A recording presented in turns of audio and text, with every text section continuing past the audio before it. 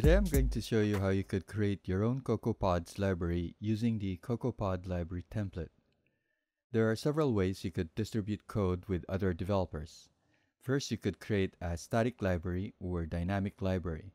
You could also create a Swift package. We also have XCFramework as a multi-platform option. Then CocoaPods, which is a dependency manager primarily made for Objective-C and Swift projects. It was built with Ruby and it was released on September 2011. Creating your own CocoaPods is easy by following a few steps. First, by making sure you have CocoaPods installed, then creating a pod library using a template. Then you add your code, and followed by customizing the pod spec. And lastly, pushing your pod to a Git repository. For the first step, I'll show you the steps you need to follow in installing CocoaPods using the terminal.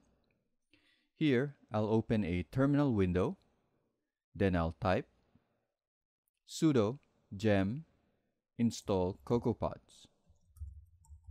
Sudo is just telling the system that the installation will require elevated privileges, and it's only needed during installation. Sudo is the super user or admin in other cases. Once the installation is done, you can check if the installation went well by running the pod version command in the terminal. If CocoaPods installed properly, then the version number should print on the screen. Now let's create our CocoaPods library. There are multiple ways you can create the library. The first option is you can use an existing Xcode project where your library is and configure it as a pod library. The other way is using the pod library template. In this demo, I'll use the template instead of creating it from scratch. Now open the terminal on the folder where you want to save your project. Then in the terminal, type pod lib create.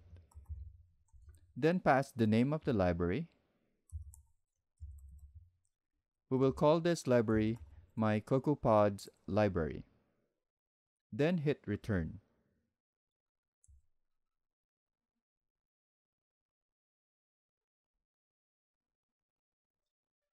CocoaPods will clone the template from GitHub. If in the future you want to use your own template, you can pass the URL of the repository containing a compatible template. You can add dash dash then template URL, then equals your git URL. So right now we're prompted to choose if the library is for iOS or Mac OS. I'm going to type iOS then hit enter. Then we're asked for the language. I'll type Swift then hit return. Typing lowercase is fine. Then another interesting question is asked. Would you like to include a demo application with your library? I would recommend to include a demo app. That way you can quickly see how the library will look and perform when integrated into a project. But it's optional. So I'll choose yes to include a demo, then hit return. For now, I will not include a testing framework, so none, then return. Would you like to do a view-based testing? No, since I don't need it. Then return. Now CocoaPods will set up the project and automatically open it for us. Now we have an iOS project with a local development pod. In the pod group, you can find the license file, the README, and pod spec. I'll get back to the pod spec shortly. Let's create our library class first. I'm going to create a new Swift file and call it logger. And make sure I'm saving it in the classes folder.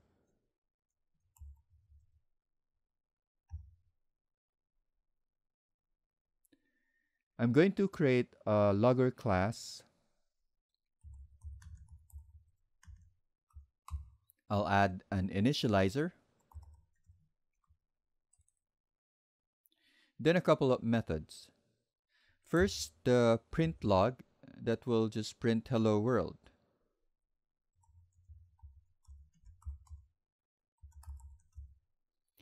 The second method, I'll call it private method to print private.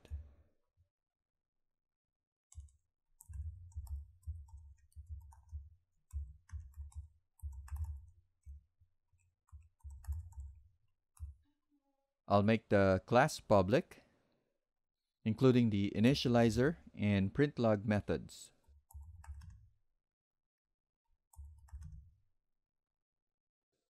Now I'll remove the replace me file since it's just a placeholder. I'm gonna head over to the iOS project and open the view controller.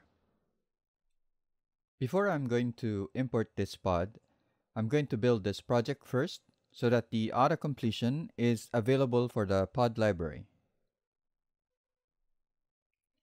Next, I'm going to create an instance of the logger.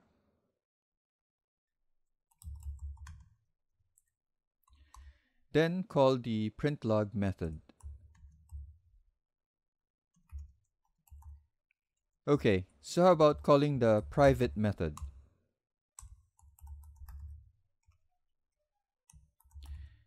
It's obvious we can't access the private method because it's not set to the public access modifier.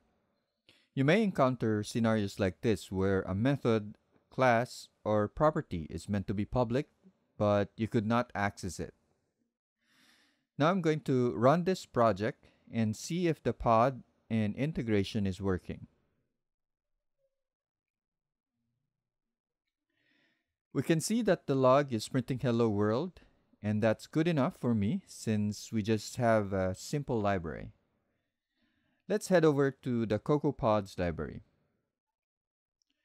I'm going to add a flower image because I want to show you how you could add and use assets in your pods. I'll add the flower image in the assets folder. The structure or organization of the files or folders is not strict it is up to you to use the suggested structure, then add more folders or create your own. Let's head over to the podspec file and I'll briefly talk about the common configurations there. A podspec describes a version of a pod library. The files and resources to include in the library is defined here, as well as dependencies. The podspec can be created in the terminal using the podspec create command. In the spec, we have the name of the library, the version, then a quick summary. A long description block can be added in between these description tags. The lines that are commented are optional specs, where at a later time you may need to set it with an appropriate value. And to tell more about the library author, you could add the homepage, author name, and social media links. The source attribute is where you put the location of the source, such as the Git URL and the tag of the Git repo. In the source underscore files spec, we tell CocoaPods where are the source file for this library. In this case, it is in the classes folder. If this is an Objective-C library, you may also need to provide the path to the header files as well. The framework spec is where you indicate what framework this library will need.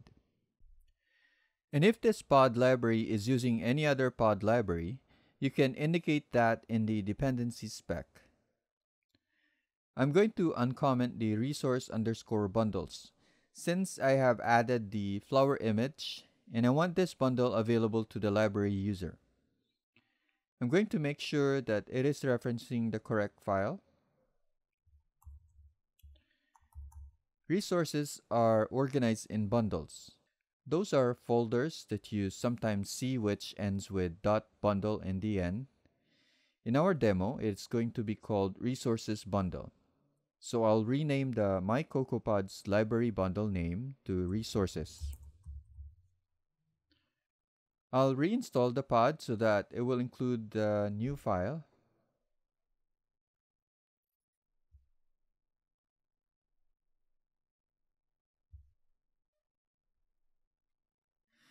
Now I'm going to run this project. Now back into the view controller, we are going to use the flower image and see if we can reference it. Before we do that, let's head over to the app bundle to explore the framework and resource bundle. I'm going to right click the app in the products group, then show it in Finder. I'll right click the app package and show package contents.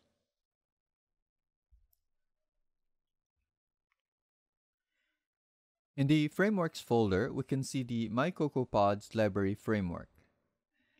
Then inside, you can see our resources bundle. Then we can view the flower image by right-clicking the bundle and show package contents. Now we can see the flower image here and we're sure it is included in the bundle. Now back in the view controller, before I could load the image from the bundle, I would need to create a bundle object representing the framework bundle.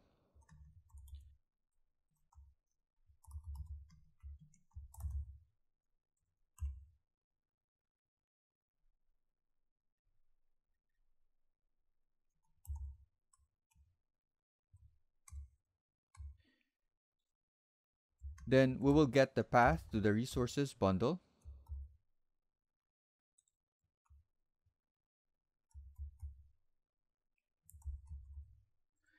Then using the resources path, we will create another bundle object using that path.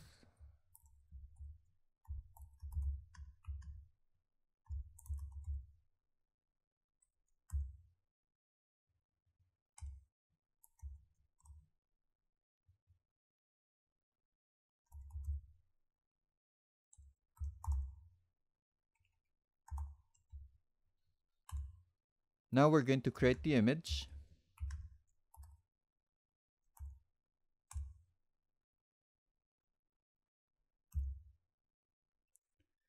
I'll pass the file name, then the resource bundle.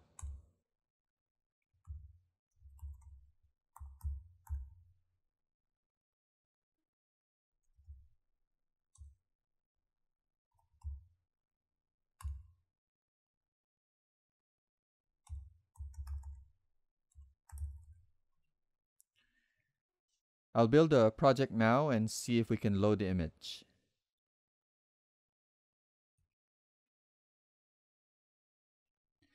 All right, we can see that uh, we were able to load the image from the resources bundle. In your library, you may want to create helper methods that will help load resources from the resources bundle so that the developer will not have to worry about it. Okay, let's run a validation for this pod to make sure we provided the information it needs. I'm going to open a terminal at the root of the pod and run the pod lib lint command.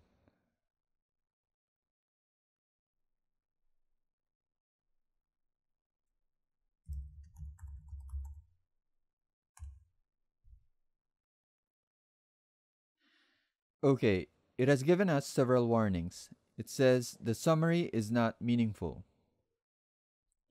Okay, let me just change the summary a bit. I'm going to type this is a meaningful summary of my pod. This will just be a placeholder summary, while we should make sure that we are actually adding a meaningful summary in our pods. The last warning is asking me to indicate the Swift version supported by this, so I'll just use Swift underscore version attribute and pass in version 5.0. I'm going to run the validation again.